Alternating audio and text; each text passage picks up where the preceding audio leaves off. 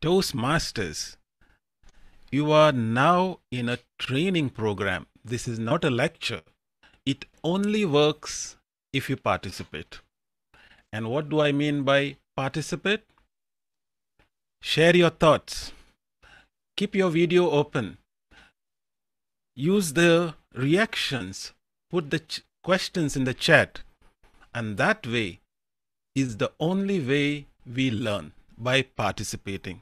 But before I do that, let me run a quick poll to find out who's my audience.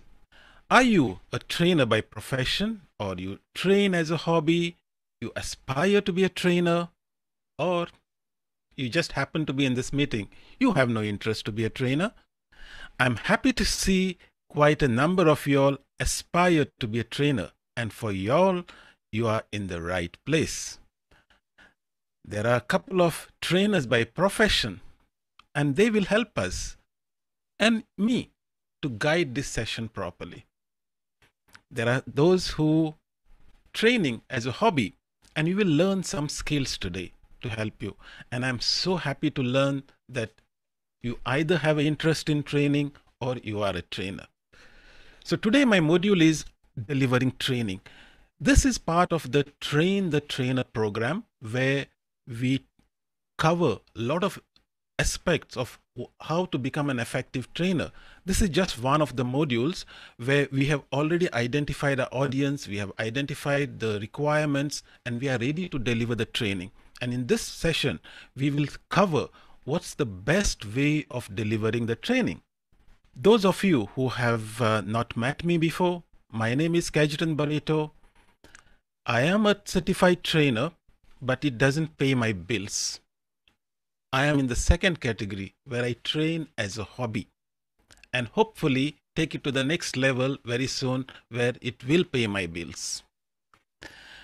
I am a passionate photographer, scuba diver, kettlebell trainer, and generally anything related to tech. That's what I do. And for the last one year, I have been creating a lot of YouTube videos and that's why you see all this YouTube kind of stuff here. And my channel is called Tech for Toastmasters. If you haven't checked it out, please do so. Don't forget to subscribe. To get the best out of this training, please keep your microphone muted. Use the reactions and the chat as much as possible and use the speaker view to get the most out of this training. And what do I mean by speaker view? On the top right corner, there is an option called view click on that and choose the speaker view. That way you will be able to read whatever I'm presenting. What are the objectives of this today's session is how to deliver a planned training session. You have already planned it, but how to deliver it is what we will learn. How to manage your learning environment and to demonstrate effective communication skills. Let's get on it with it. So, a small exercise to get us started. There are different training methods for learning and teaching. What I'm going to do is I'm going to put up my whiteboard and I hope you can read the seven training methods that are listed here and they are you learn by teaching others you learn using audiovisual or lectures or discussions, reading, demonstration, or you practice doing it. Now, what I want to do is I want you to tell me in the chat. So, what I want to do is in the here I want to place the least effective training, and here I want to place the most effective training, and I will create it like a ladder here. So among the seven, I want you all to tell me which would be the least effective training method in this seven methods that are listed and which would be the most effective training method. Most effective is practice doing. So somebody is saying most effective is practice doing. So let me move it there. Do every, okay. Somebody is saying teach others. Who agrees with teach others as the most effective training. That means this one. Teach others is the most practice doing. Okay, there is a debate here between Najwa and others. Okay, what would be the least effective? Where you deliver the training, but the retention is lecture is the least effective. Can we try and arrange the rest? Let's say after the lecture, what would be the next least effective? Reading is the next one. Okay. Does this seem like a okay structure? Is there any change that you all would like to suggest? Uh, you can unmute yourself and uh, maybe correct it if it is wrong. Lecture, then demonstrate. Okay, so somebody is saying lecture, then demonstrate. So you are saying that reading is more effective than demonstration. Okay, let's see whether, let's keep it like this for the time being. And uh, let's see what some of the research has to tell us. So this is called the learning pyramid, which says that the most effective form of training is to teach others. Right? You learn, and I can assure you, I am speaking about this from experience. Two weeks ago, when I was told by DTM Wafa that I should be giving a module on delivering training, I did not know much about this subject. But now I was forced to train others, which means I had to learn everything to the minute detail. So when you have to teach others, that's the time when you learn the most. The lectures is the least effective in terms of retention and the percentages are listed there. It's like something like 5%. Reading gives you around 10% retention. Audio visual, uh, for example, watching video or uh, listening uh, retain increases to 20%. Demonstration retention is 30%. Discussions makes it up to 50%. When you practice doing, like internship, it goes up to 75%. And as I said, 90% is when you teach others. But of course, all, we cannot be teaching others all the time. It's just not effective or it is not just practical. So what are we going to do is, first of all, to understand the different training methods, we will look at the considerations for choosing the right training method. First of all, you have to consider the training goal. What is it that you are trying to do? Are you trying to build new skills? Something that the person doesn't know anything about? You'll have to take that into consideration. Or are you teaching new techniques for old skills? Something, a new update has happened to a product and you want to teach only that update. Then the training method would differ. So your training goal will define your training method. Are you focusing on better workplace behavior? This would require training on soft skills because you want to have better communication, better dialogue in the workplace. So again, the goal will define what kind of training you want to deliver. Are you focused on training for a safer workplace? In which case, things like drills, demonstrations, actual practice would be the right way to do it. Or are you trying to train for a fair and equal workplace? Again, the goals determine the type of training techniques that we will use. What about your audience? Who's your audience? Are they new employees? They will require a different kind of training. Or are they seasoned employees? Again, the training techniques will differ. Or are you training for the upper management where the focus, the training, the atmosphere, the environment will have to be changed to match those needs. So the goals and the audience determine the type of training that we will deliver. Other considerations that we might want to consider is what's your budget? Are you giving training in a small training room in the in your company or are you taking them to a five star hotel where you have access to good food, good atmosphere and good facilities? What's the time allotted? Are you talking about a short training? Are you talking about a full day training? What are the logistics required to conduct that training? So that will also determine what can you include from all of those training techniques that I talked about. What kind of resources do you have? Do you have the best equipment available or are you forced to deliver your training with primitive equipment? So considering this, we can broadly categorize training methods into, first of all, the instructor-led training, something that we have gone through in our life, a classroom-based, instructor-led. Hands-on training is where you actually learn by doing things, like an internship. And now, very popular these days is actually these are two separate training methods computer based training and online training. But you know, in this day, there is hardly this concept of computer based training where you, you would insert, uh, let's say, a CD ROM in a computer and you would complete your training. Those days are gone. Now, everything has sort of moved into an online training platform. So, I have combined them together. And what I would like you all to do now, because you have all experienced this training, right? You all have attended a school, college, and uh, different workshops. You have attended classroom or instructor led training. You have done hands on training. You are all experienced people. And I'm sure most of you have done online training. So I want now, and as you know, your audience have experienced trainers and uh, hobby trainers, and of course, there are some who are um, aspiring to be trainers.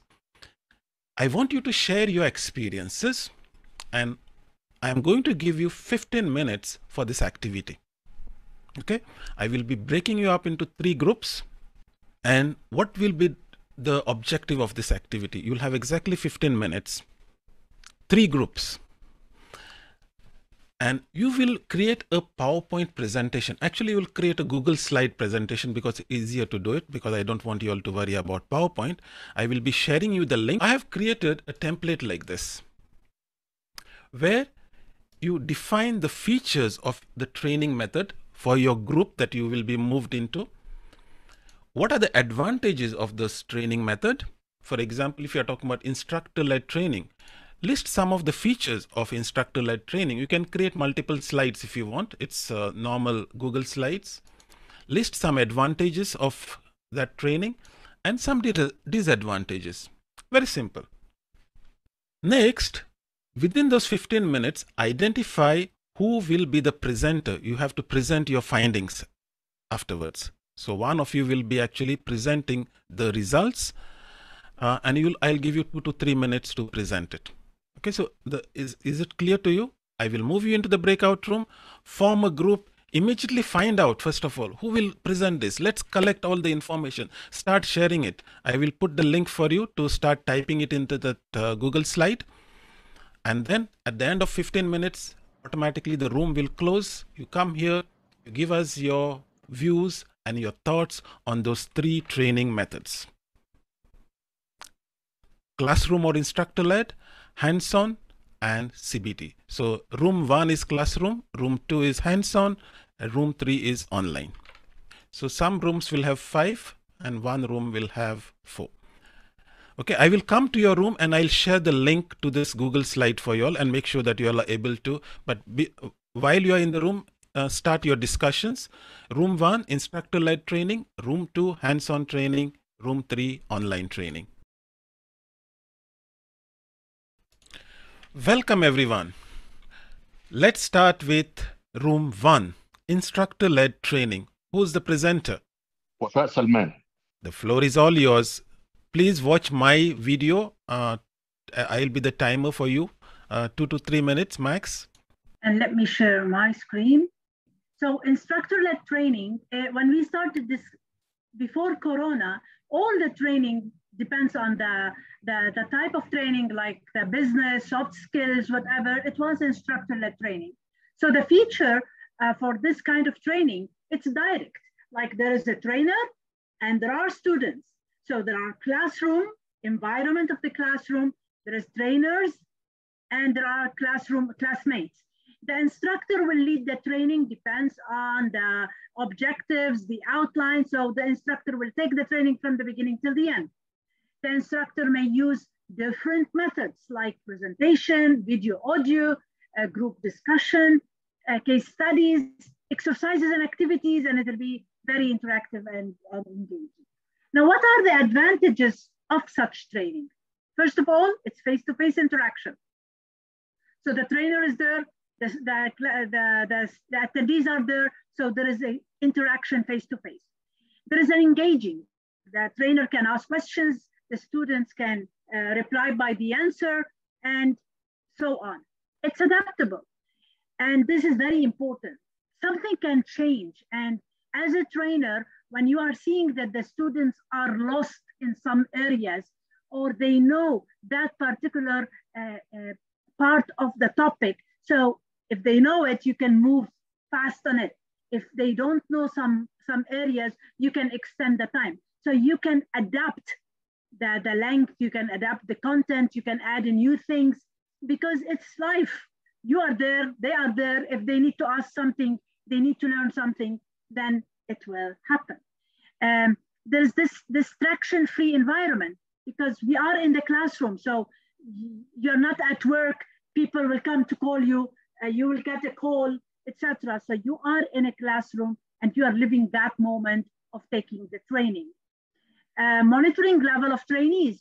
The trainer can monitor the level if they understood, they need extra. So the level of the trainees will be monitored directly by the trainer and there is an immediate feedback on spot. They can give a feedback if they got it or not, or, and they will give an evaluation at the end.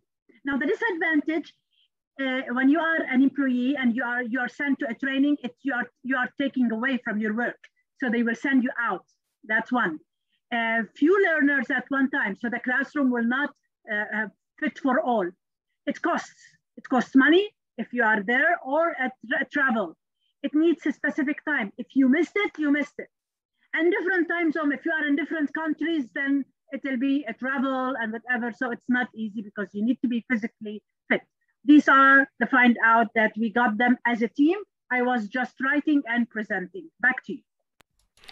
Thank you. Absolutely brilliant. Thank you for sharing that and uh, summarizing your team effort. Let's move on to team two. Who's the presenter for team two? So for hands-on training, the advantages of hands-on training is they are more focus. This is the first one. No, key feature first. Key features of hands-on training. First of all, it's an easy way to transfer knowledge because it happens in the place where you work on. Also, it helps career improvement because people who deliver the training are people who are already working with you. It's informal way of delivering training. It's not formal, so you are not afraid of getting the training or conducting the training. Also, it's an opportunity for mentorship and apprenticeship. Again, because it's hands-on training, it happens in the place that you already work in. So it's a safe and social learning environment. Also, it improves curriculum retention because people still there, they don't come and go. And it's exper experiential learning. It's learning by doing. So as you know that there are many types of learning and a kinetic people or people who are doing things, it will be an, uh, a strong way to keep or to preserve the, the thing that you learned. The advantages of hands-on training, more focus, because you are there, you are doing what you are doing, then you are more focused about doing it. It's similar on, on one-on-one -on -one coaching. It encourages participants to freely raise questions and encourages interaction. It's more fun. It's in a confined place, so it's more fun. It allows exploration of all five senses. You can read, you can listen, you can do whatever you do, and participants can learn faster. But the disadvantages of hands-on training, it might be challenging for some people with different learning styles. For some, grasping concepts while doing them can be tough. Those who prefer reading might have difficult times with hands-on training and may not be successful. Also, hands-on training can be difficult when a trainee makes some mistakes because you are very exposed and you are in your own place.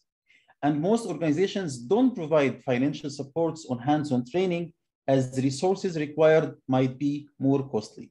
Thank you and back to you. Excellent. And I like your innovative way of delivering the training with your screen and your camera in the same screen. Well done, team two. Team three, online, the new world, the new era. Who's going to deliver that training? Okay, we talked about computer-based and online training. The main features were that we use virtual meetings. Uh, they use virtual meetings. Um, there's self-registration. You need to register yourself. It uses different applications and platforms. Also, audio video demonstration. It's most of the time user friendly. It could be recorded, it could be shared, it uses different um, digital resources, and sometimes you need to be tech savvy. It is also convenient, self paced, and standardized. Now, the advantages of the online uh, training, if it was delivered effectively, first of all, it's less time consuming. It's accessible to everyone internationally or even within the same area um, any special keynote speakers, any important famous people uh, can join anytime. It is cost effective. Um, it has higher engagement and retention rates. It shares, you can share resources easily digitally by just sharing a link in the chat. You can have larger amount of people to attend your meeting without worrying about the physical uh, area. And you have, you can also um, have different multiple assessing platforms to use. So if you're training and you need the feedback, you can use different platforms to um, take back your feed uh, to um, check how much they know. Um, and it's computerized checking and feedback, which means it's less time for you to send the feedback and check the answers.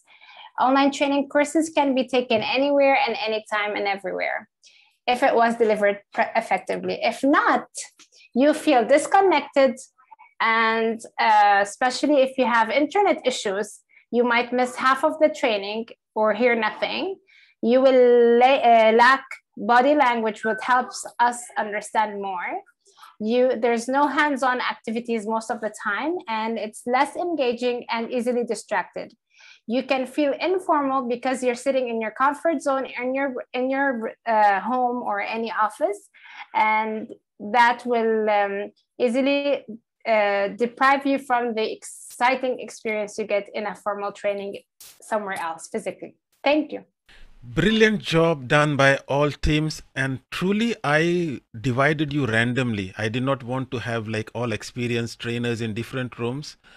Uh, and it turned out that the important lesson I think that you should take from this is that a real training is not about teaching you all, but you're learning among yourself. And this is what the demonstration is all about today. You actually know all of these things, but once you sit in a uh, group, you discuss, you learn from each other, and I become basically just a facilitator in this in this whole scenario. Excellent. Well done. I will take a few more minutes and I will go right up to 850 even so I have 8 minutes I will try to use it. So as you noticed you can switch back to your speaker view if you are not already on it is that generally it will require the use of a board to write your material. Overhead projector sometimes is good because actually you, it allows you to write on the overhead projector but nowadays it's all taken over by as you know PowerPoint. You can include video portion in your instructor led training. PowerPoint presentation is the choice now for most uh, uh, instructor led training when you want to demonstrate something. And one in interesting aspect of uh, instructor led training is the inclusion of stories sharing personal stories, getting the message across more powerful. What are the advantages? You have already um, listed them. It's efficient, it's personal, it's face to face, it's the same information to everyone. right? Because you're all in that same room. It's very cost effective and storytelling grabs attention. So these are the things, of course, whatever you have seen said in your presentation is all right, but these are some of the main aspects of an instructor led training. The disadvantages as li listed by you, it's it's not as interactive as, for example, a hands-on training, right? Because you are sitting in the classroom most of the time. It highly depends, the effectiveness depends on the trainer. So if the trainer is not good, maybe the training will not be good. Scheduling becomes extremely difficult in an instructor led training because you have to manage different rooms, different timings. How can you make it better? Have programs like this where you train the trainer on the right way of delivering training. Give the right resources to the trainers. Use interactive methods like discussions, like uh, exercises, like quizzes and these are some of the interactive methods you could use in an instructor-led training, like a quiz, like a group discussion that you just had. Have a case study, put a case study and discuss on that study. Ask the audience to create summary of what they have learned. Have a Q&A session. Make sure that they have grabbed all the information. Ask them to write questions on a question on a card and then try to solve that.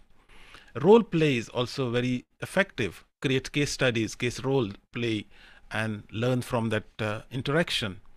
Give participants the control. Let them come on the stage and, and demonstrate something.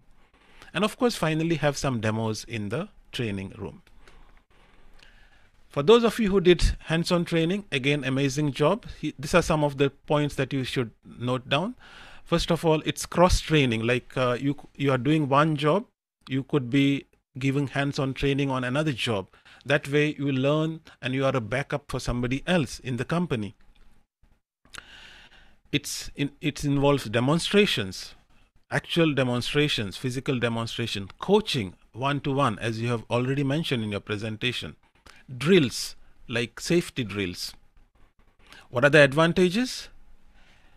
This is like whenever you have new procedures, new equipment, hands-on training is the best way to um, achieve the results. It's immediate. Again, all of you have mentioned this.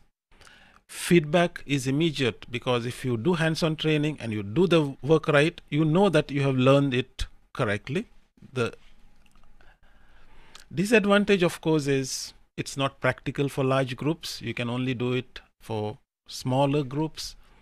It is time consuming, it's expensive.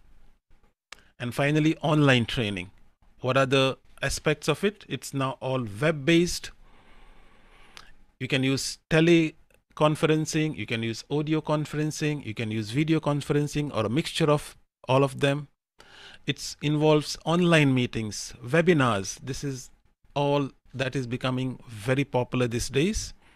And universities, for example, do distance learning, uh, university degrees using online training. What are the advantages? It's effective for multiple locations, as you mentioned. Geography is not a limitation anymore, anywhere in the world. You save money on travel, use for refresher training. Like you know something, but you just want a refresher, just do an online training and get updated. It's self-paced. It's up to you. And you can match the training to the skill. So when you want to learn something, you select only that training. You don't waste your time on the spot. The disadvantages, of course, is you need to be computer literate.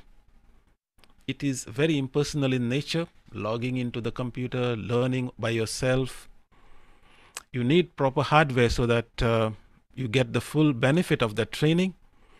And some people, they get intimidated by the technology, learning through, and those of your Toastmasters will relate this to pathways so the right approach is there is no right approach. As I said in the beginning, we talked about the goals, the audience, and then you learn all of this.